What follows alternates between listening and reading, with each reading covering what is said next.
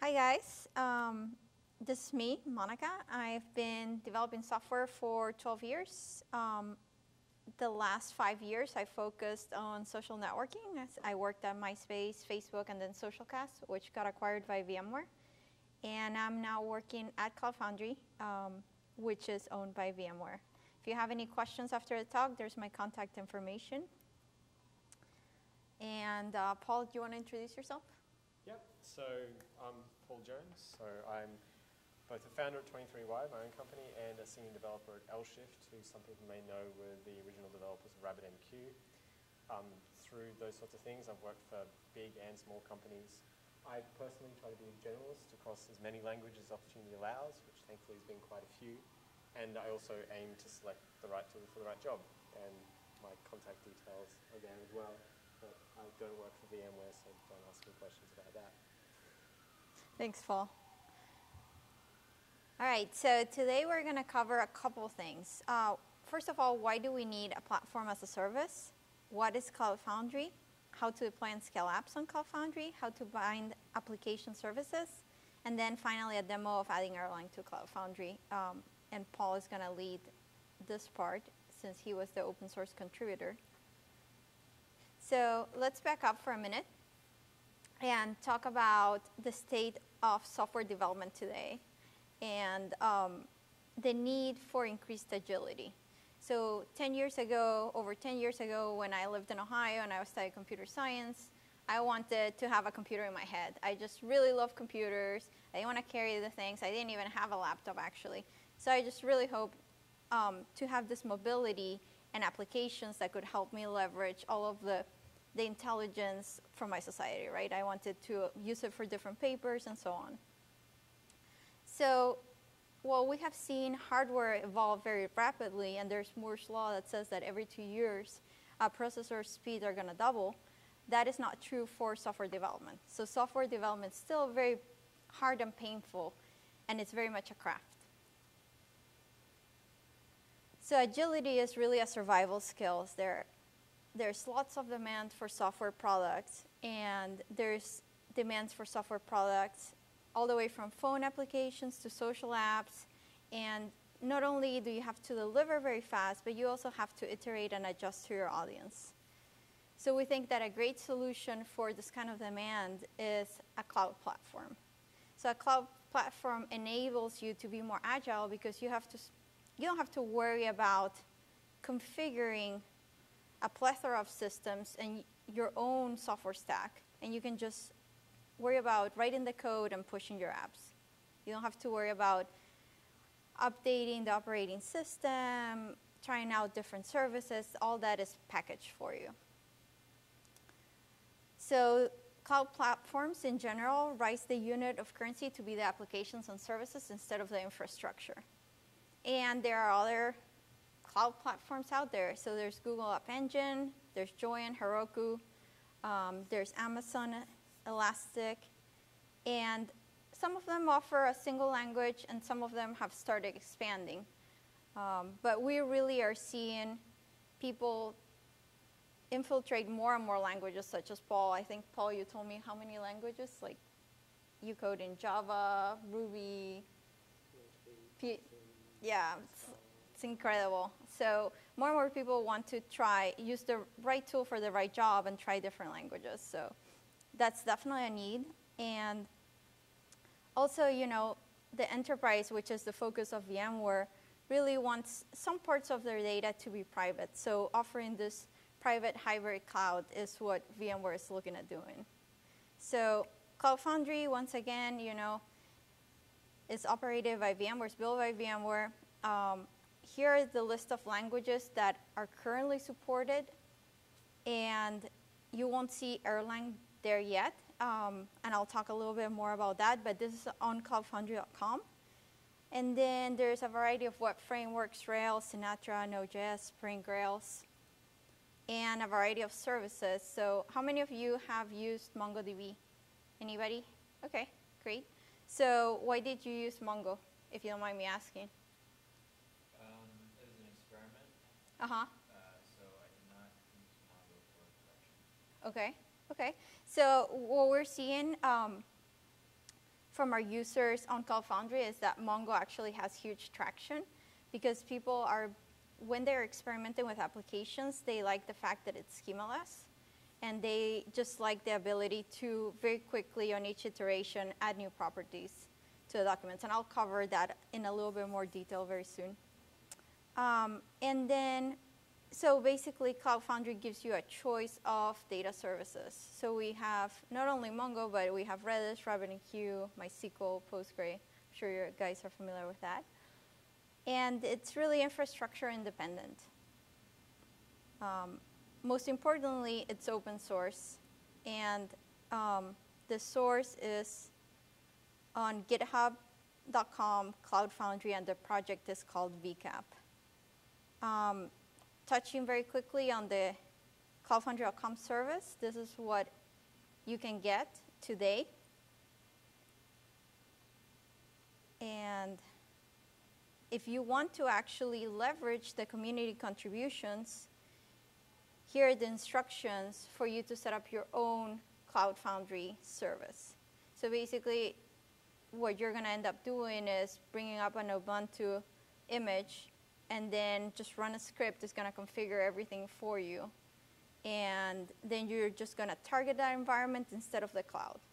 So it's the same API, you use the same tools, but you're now targeting your own forked version of the code base. And in this version, we actually have support for Erlang. And with that, I'm going to let Paul tell you about how he contributed Erlang.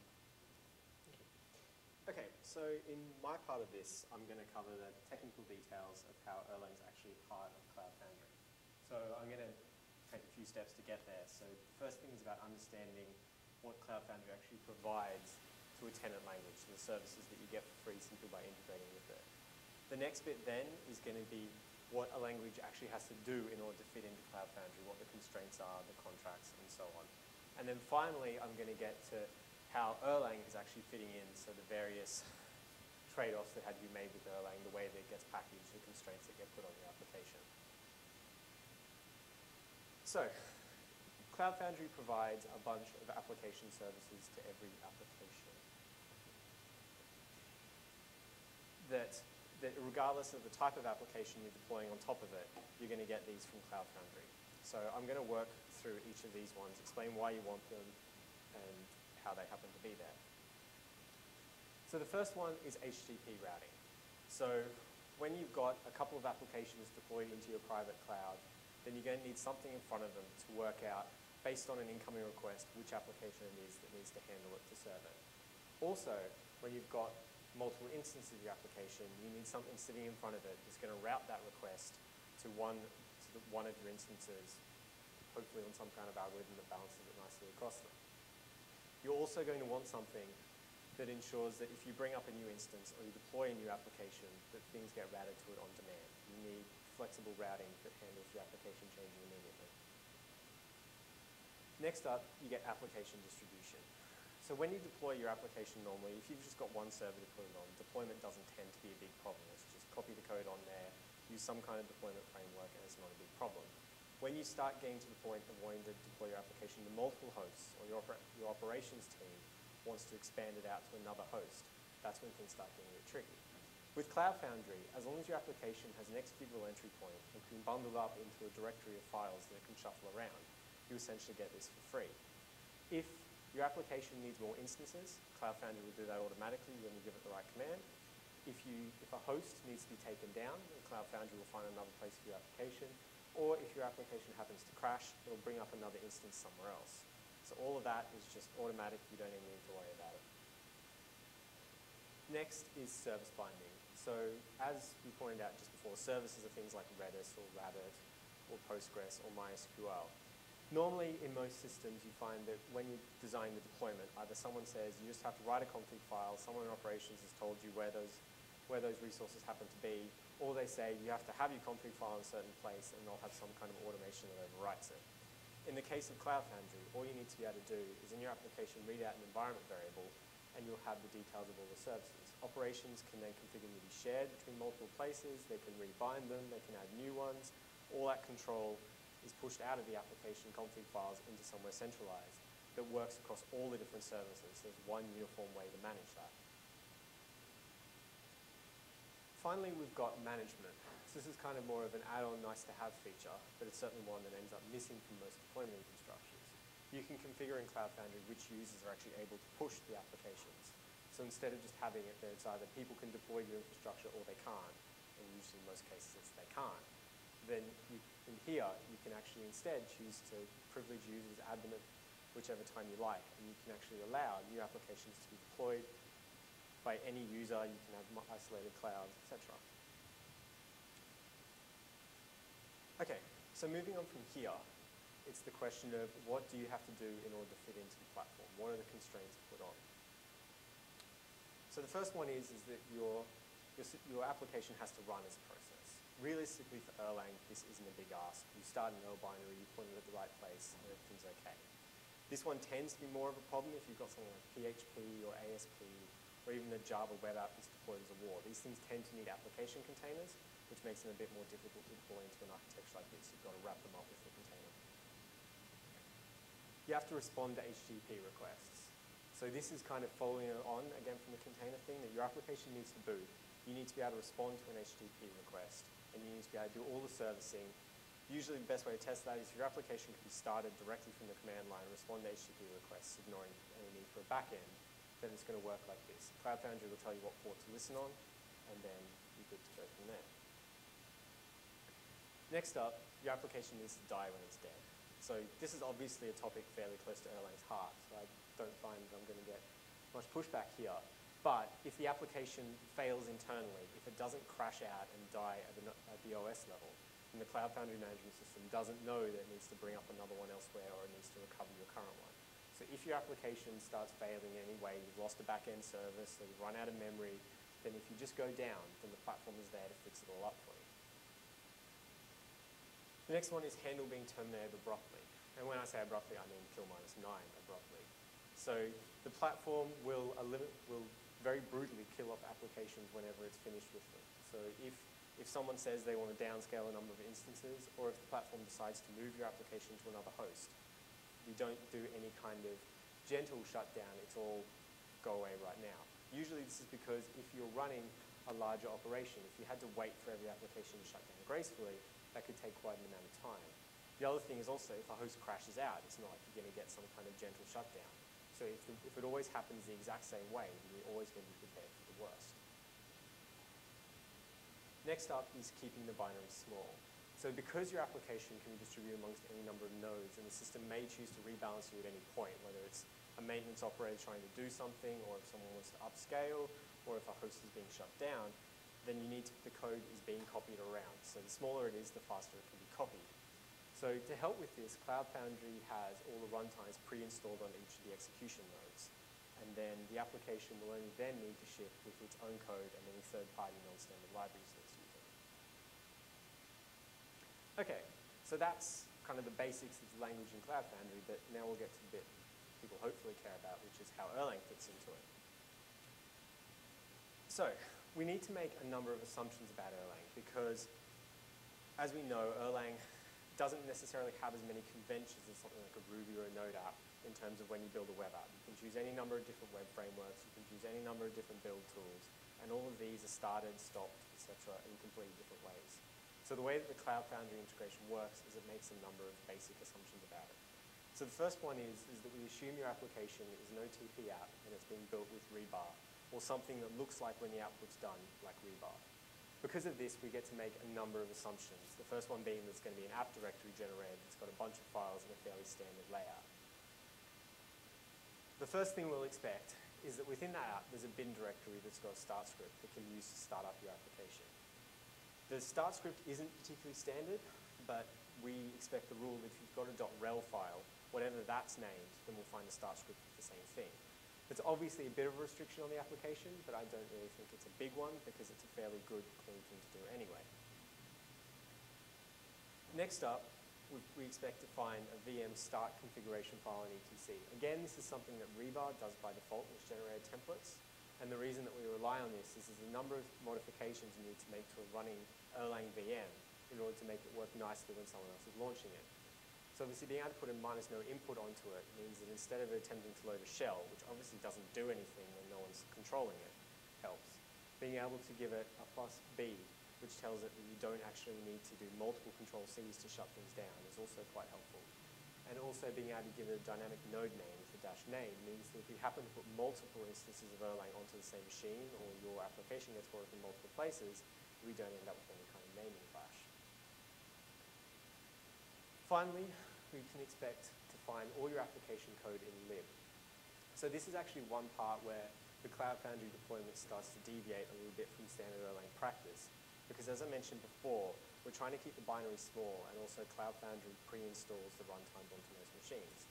So an application that's been precompiled with the reltool as part of Rebar tends to include both the Erlang runtime, the standard libraries, and your code altogether.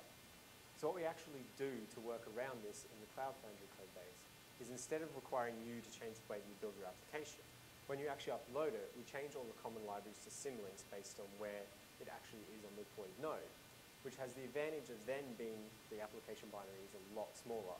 And also it means if you happen to do your build on an OS X machine, for instance, which has a completely different architecture to a Linux deployment host, then you'll find that the application will continue to work.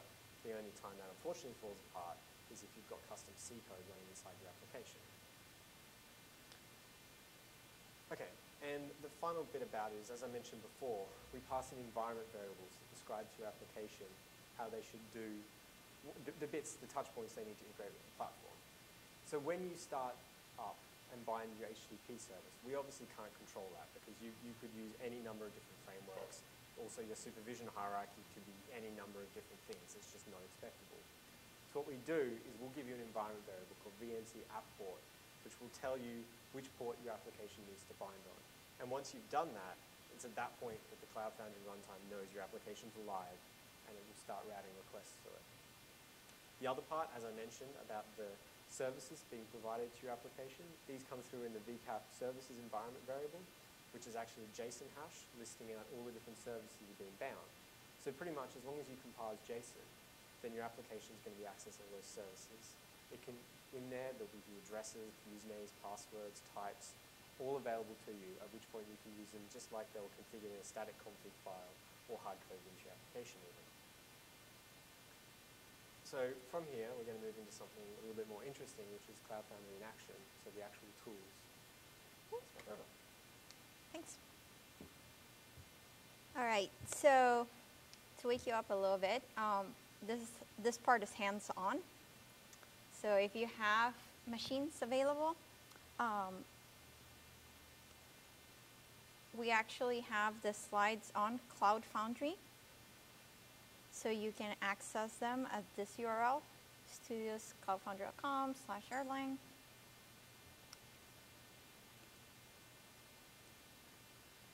Okay. And how many of you have a Cloud Foundry account? Anybody? So if you don't have an account, I'm going to give you a promo code to get signed up right away so you can follow along. So here's the URL. You can just go to cloudfoundry.com. There'll be a big sign up button. And then if it asks you for a promo code, just type the word hack. Okay. So part of the beauty of working with Cloud Foundry is that it makes it very simple for developers to interact and scale the apps. And the way we interact with Cloud Foundry is using a command line interface called VMC. And VMC is distributed as a Ruby gem. And so if you want to interact with Cloud Foundry, one of the most common ways is using VMC, of course. It's a REST API, so we do have other libraries. So I would like you guys to install the VMC gem. And then if you use the promo code HACK, you should have gotten a password and you can actually log in. And what I'm going to show you now is, since we're using cloudfoundry.com, I'm first going to show you just deploying a very simple Sinatra application. Sinatra is a very lightweight uh, Ruby web framework. So I'm going to.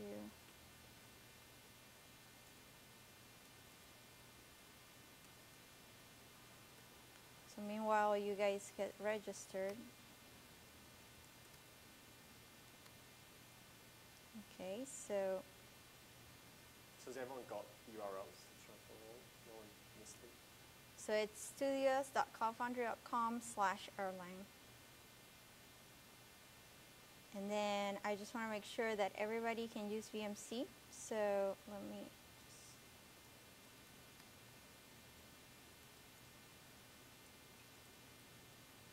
So if you can use it, you should be able to also look up the reference via VMC help. And I have the very latest VMC. I installed it with the dash dash pre-flag. And so it's given me not only the ability to push apps and scale them, um, one of the new things that we added is tunneling for services and also access to Micro Cloud Foundry. And Micro Cloud Foundry, I'll cover in a minute. It's a miniature version of cloudfoundry.com that we basically you can download it and run it a VMware image. Okay?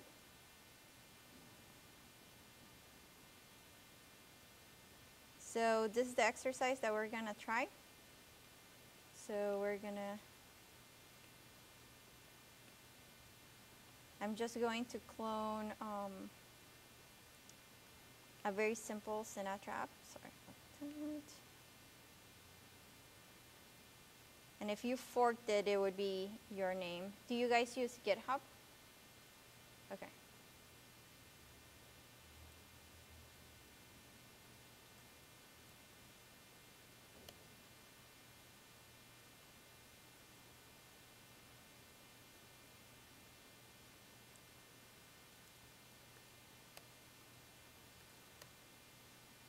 Okay, so the next step is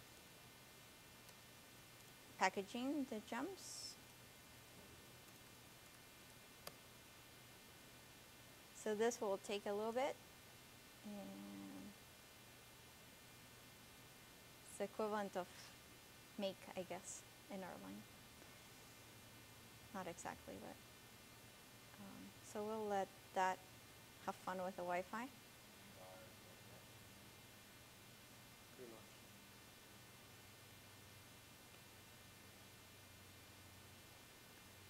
Let's see. Can I get Except Wi-Fi? sadly a lot slower. Wow. Except sadly a lot slower. Yeah, this is kind of slow right now. The 1.1 version of Fund is much quicker. There we go. Yay. Okay. So now I can do VMC push. So I'm going to push this app. Oh. So one thing that I need to change is I forgot to do this.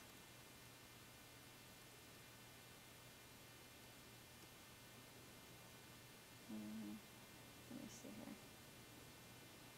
Do we have a manifest? Okay.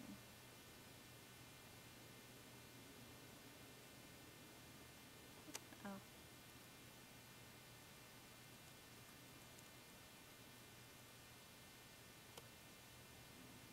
It my. I've done this before, huh? All right, so we're gonna push it now. And on the first time push, it pushes the entire contents um, of the current directory, but on subsequent updates, it only pushes deltas. So I've pushed my application. I can now see it if I type VMC apps. So I have a few more, but here's the one I just typed, and I can look at the logs.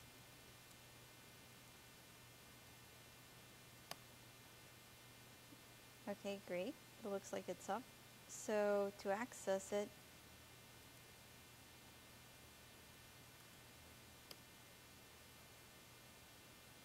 So there's my app. So it's just very simple uh, Sinatra app. And then if I want to, make sure, I want to make changes. Happened. I have a YAML file which uses portable context. Uh, so I'm going to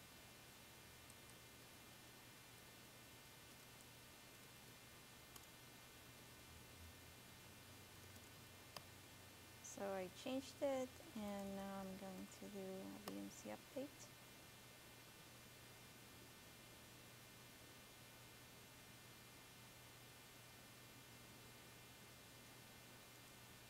Okay. And let's see here. Um,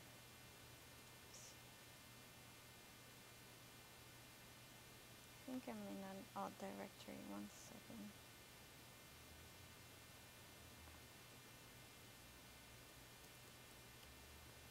It's doing some weird caching.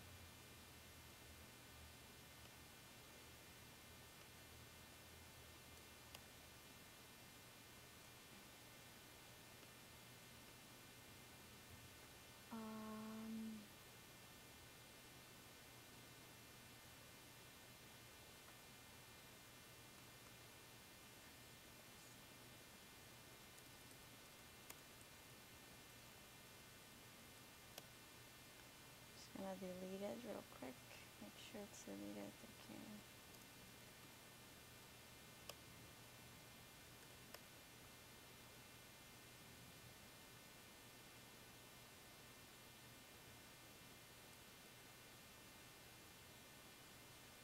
Okay. So now if I want to look at environment variables, I can do VMC env. I'm actually going to, I see what happened. Um,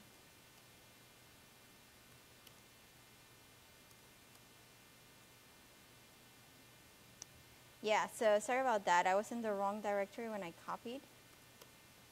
Um, I'm going to reclone it one more time.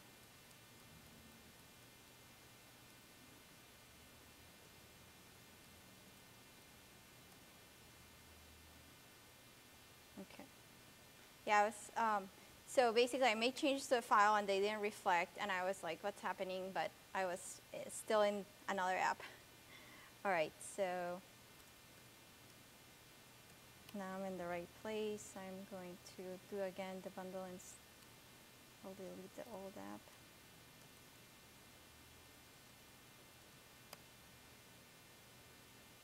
Okay, and now I'm gonna do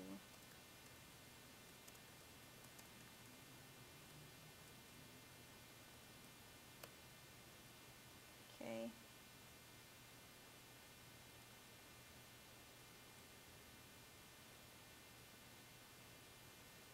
and then we'll let that run.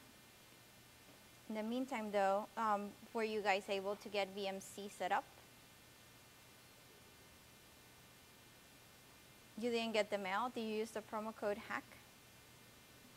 Okay, hopefully it'll be coming soon. They told me it never expires. It's my own personal promo. So yeah, so basically the push is interactive. This is what a typical push looks like. You get to pick your application name. You're bound with using cloudfoundry.com on the cloudfoundry.com service. But if you're running your own version of the source code, you can register URLs that are outside a given domain. So you can pick any domain name. And then, um, as we saw, you know, you get to say how many instances, and based on, you probably would set it up with like New Relic monitoring, and based on certain thresholds and alerts, you would scale up or scale down.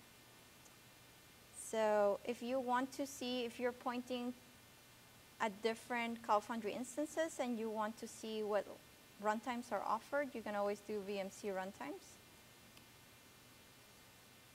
So now I'm going to, so we see that in cloudfoundry.com we have Ruby 1819, Node, Node 06, and Java. But then once I target um, the open source version, we can see that we have Erlang, Python, and PHP as well. Okay, so let me get back to pushing this one more time. Thanks for your patience.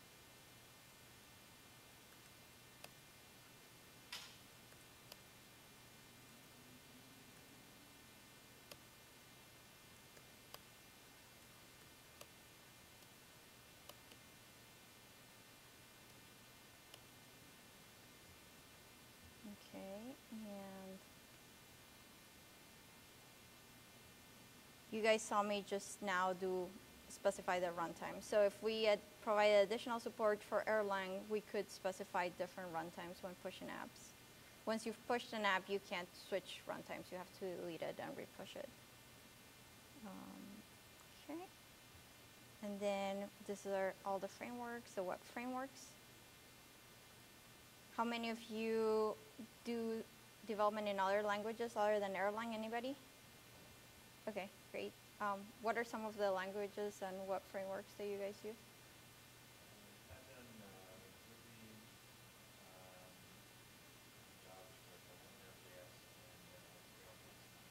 Cool. How about you? Okay. Great. So we have um, ActiveState, which runs a Cloud Foundry instance, and they support Python and Perl. So now I'm gonna edit this again just to prove that it works.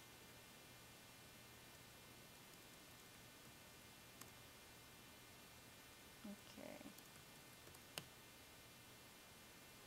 Um, Okay.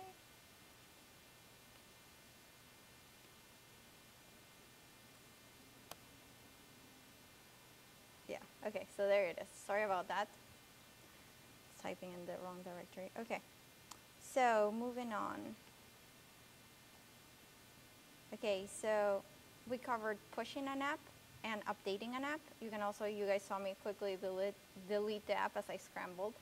And you can also start, restart and stop, and you guys saw me get the logs.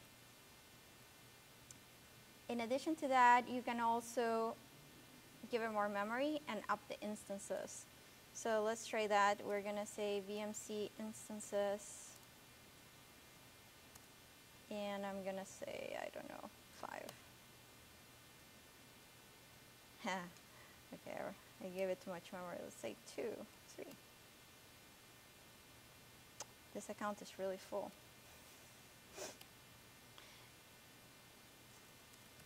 Fun. That's okay, I can switch to a different account.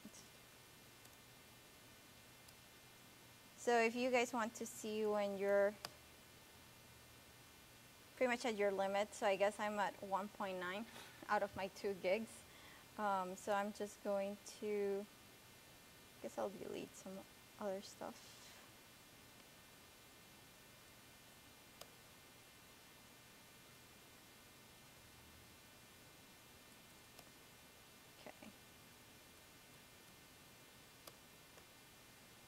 Okay. Okay, that worked. Um, so once you up the instances, you can say VMC stats.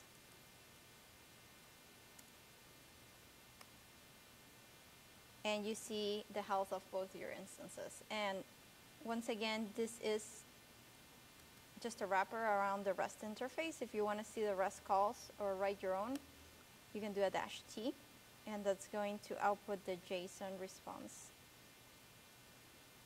Okay.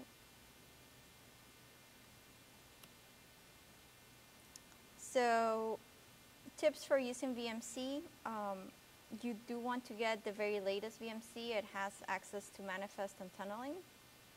And um, once again, to use dash T. Now, if you want to try Cloud Foundry running on your own machine, if you want to poke around, um, one quick alternative to installing the open source code is to just download MicroCloud Foundry. So you guys can download MicroCloud Foundry from cloudfoundry.com slash micro. And what it's going to do is once you, you know, you log in with the account for Cloud Foundry you received, and it's going to allow you to set up the DNS to point to your IP. So for example, I have taken over those two and I can regenerate a token, start Cloud Foundry, and it's going to route all traffic to my instance. Okay, so Micro Cloud Foundry is something if you want to check it out very quickly. And then once again, it uses the same REST API and you can use VMC with it. Um, the cool thing about Micro Cloud Foundry is any, it's open registration. So you can re just register with a command line. You don't have to wait for the email. Okay, and we covered this sort of on the beginning slide, and then um, Paul covered it briefly, but we do have some pretty amazing services. Um, so MySQL, I'm sure many of you have used, is the world's most used RDBMS. Um, and we support version 5.1 if you want to learn more. PostgreSQL, we support version 9.0. It's another very popular RDBMS. And then for those of you that are working with NoSQL, we support MongoDB version 1.8. And MongoDB, I, I love MongoDB. It has a, it has a great community. Um, it's evolving very rapidly. And we're currently working with a partner to offer Mongo 2 support. MongoDB 2. Um, Redis, how many of you have tried Redis? Great. So Redis is awesome for caching um, and awesome for PubSub. So Redis is another thing that we support. Um, VMware actually sponsors the Redis project, and it's also an open source project. And then finally, your favorite, I think, RabbitMQ, written in Erlang. And uh, the Rabbit team also works uh, in VMware. And Rabbit uses AMQP. And it's enterprise grade queuing system. Okay, so with that, uh, let's jump to what you came here for, the demo of deploying an Erlang app. And so for this, what we did is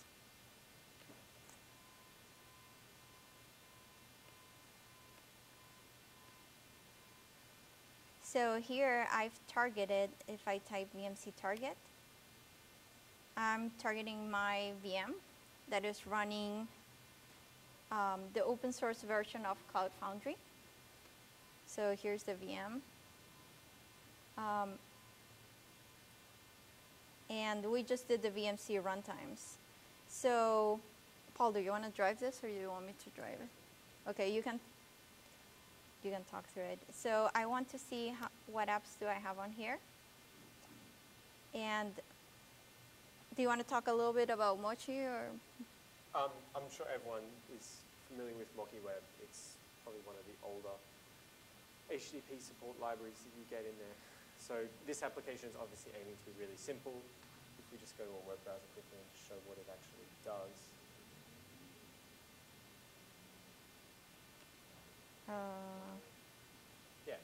So what we have here is the application. It simply tells you what port has been provided and also the VCAP services, which I was talking about before, which is the list of all the services that have been bound. So as you can see there, it's, there's been a MongoDB service that's been attached to this. It's got kind of all the details you'd need if your application actually wants to start talking to it. So I guess one thing we could do is we could just add another service or Redis instance against. yeah. So let's do VMC create service MongoDB Mongo Erlang.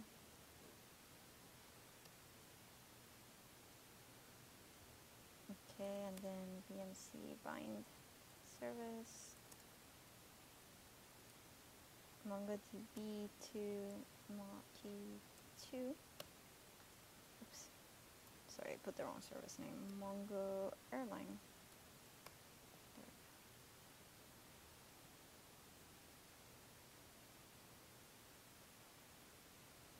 So when you bind a service, it does restart, um, and then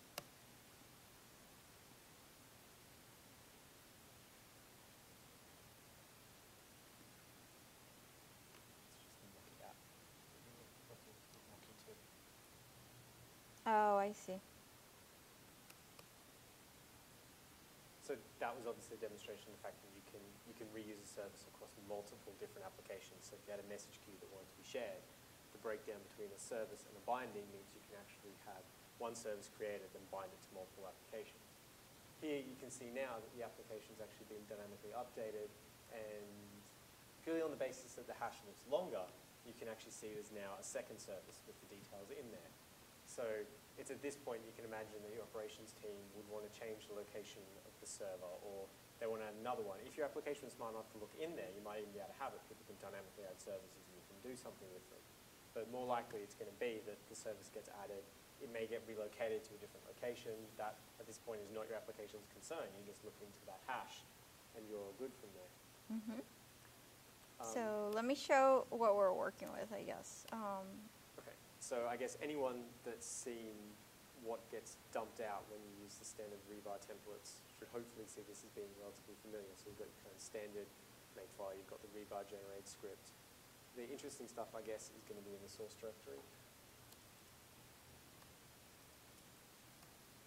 And again, it's all pretty standard, pretty standard stuff. So we've got an application with the main entry point, we've got a supervisor, and then we've got the standard MochiWeb named web. So if just go there. So you can see here all the very standard MochiWeb noise, and then eventually you get to the point here where we're doing, a, when you do a request, we're dumping out those two environment variables. And yep.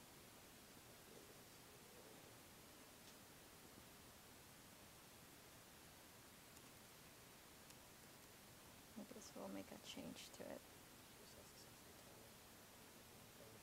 Oh, is it?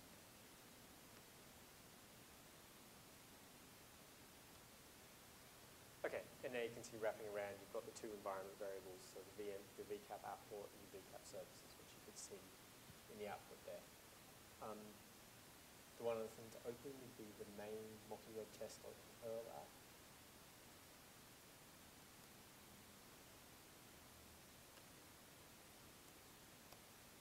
So you can see here,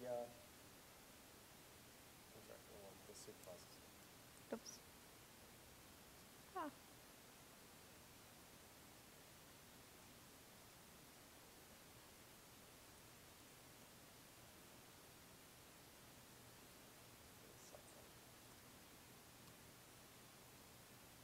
This one? Yeah, and here we go. We can see that as the supervisor boots up our web child, we just have the one line of code here that just looks up the environment variable. The, a nice pattern to do is given that you may want to run this locally on your own machine, instead of having to set the port all the time, just hard code in a default port that gets used. So if you boot it up normally, you get some kind of sensible default behavior. Okay. Oops.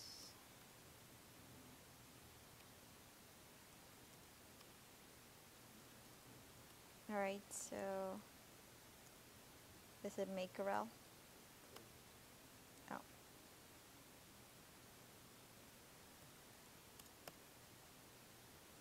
Okay, so it's the standard build process. As with the Ruby code, the idea here is that you, you will actually build the code here locally on your machine first. Cloud Foundry doesn't actually do any of the build for you on the other side. It's just responsible for the packaging. And you can see the rel directory then contains the MochiWeb test app. And it's this up here that we can, act- and as you can see, it's the standard etc bin, lib, etc.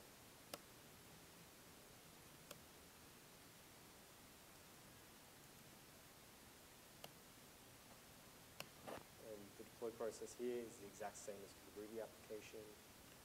We can see that the way that Cloud Foundry actually does all the detection, this is all done client side. So the, the command line utility actually has code in there that's capable of detecting all the different language runtime. In this case, the way we detect Erlang is actually looking in the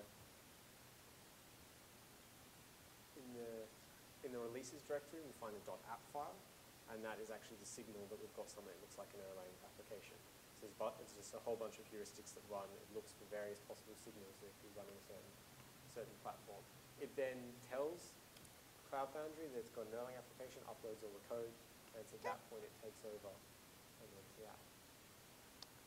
Great. So that app deployed very well. And uh, that concludes our Erlang demo. Did you guys have any questions for us?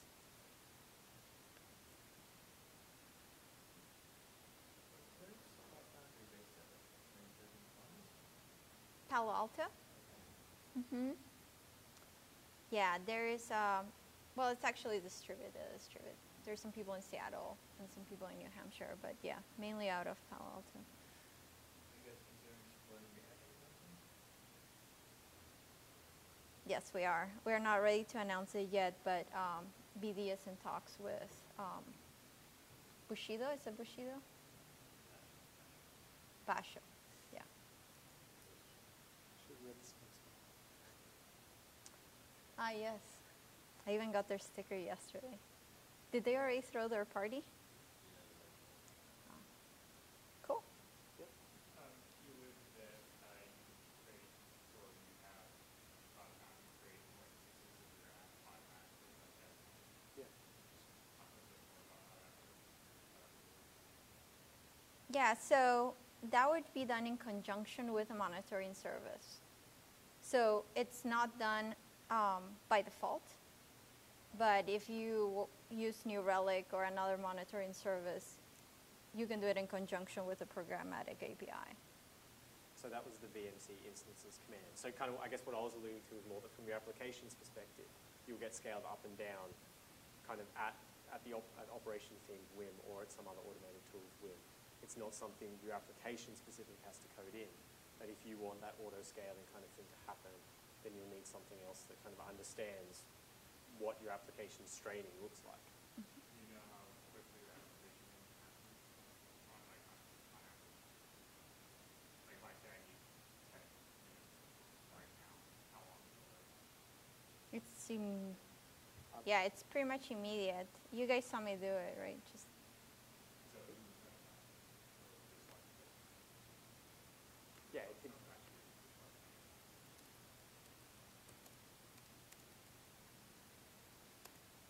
Mm. Let's see if it has enough memory to six. so that's, in that command or something, so it's Yep. And Yeah. I guess the other thing you can actually use to show this, if you now go back to the browser and just keep refreshing that page, each of those is going to have its own port. So you actually should see the Mochi 3 results be unstable. Uh, let's see. Can we give it enough So load? if, if we just, yeah, see as, as we keep refreshing, you can see the ports changing. There. Oh, and also, yeah. So you can actually see there it's balancing across a bunch of different instances. Any other questions? Um, there are some portions that use Rabbit, but it's mainly written in Ruby and Java. Any other questions? Nope. If not, I want to thank you guys for your time. Appreciate it. Uh, CloudFoundry.com is in beta right now, and we would love to hear feedback from you. And thanks, Paul, for your contribution and for helping run the session.